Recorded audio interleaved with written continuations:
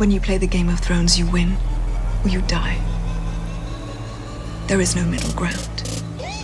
This is Lena Headey, the four time Emmy nominated British actress known for playing one of the most unlikable characters in Game of Thrones and maybe television in general Queen Cersei Lannister. It can be difficult to imagine Lena playing a character who's not a complete psychopath. But believe it or not, Lena's early career is full of characters who aren't just likable, they're sympathetic. Lena was first noticed at 17 years old by a casting director who saw her at a theater competition in London and described her as a quote, wonderful fresh country girl, subsequently casting her in her first feature film, Waterland. In flashback sequences, Jeremy Irons' character tells stories from his youth, and Lena plays his love interest Mary, who struggles with an unplanned pregnancy. Gonna have a baby.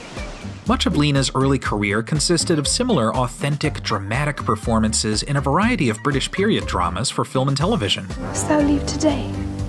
When shall I see thee again? One particular milestone was her role as Lizzie, a love struck maid in the Best Picture nominated drama The Remains of the Day. We have each other.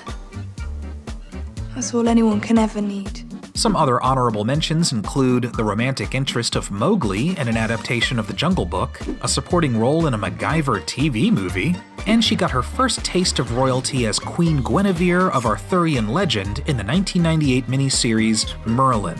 Also, can we talk about how many Game of Thrones actors Lena has worked with? Roger Ashton Griffiths was in Merlin, Ron Donachie popped up in The Jungle Book, Peter Vaughan was in The Remains of the Day, and in the 2001 comedy The Parole Officer, Lena is seduced by none other than Stannis Baratheon actor Stephen Dillane.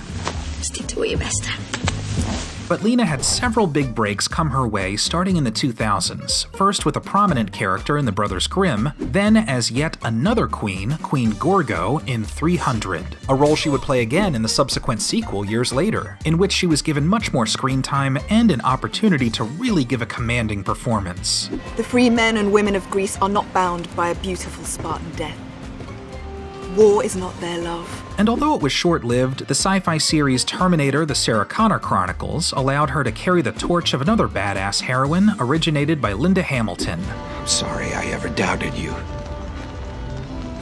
Then in 2010, Lena crossed paths with another Game of Thrones alumnus, Peter Dinklage, in the indie comedy Pete Smalls is Dead. Dinklage was about to audition for Tyrion at the time and recommended Lena audition for Cersei, saying, quote, I thought she would be a good fit for Cersei because anyone as funny as Lena can also plumb the darkest depths. Lena seems to have had no trouble with that as she wraps up the final season of Game of Thrones. Whatever she does after the series is over, Lena Headey has well established that she is a force to be reckoned with.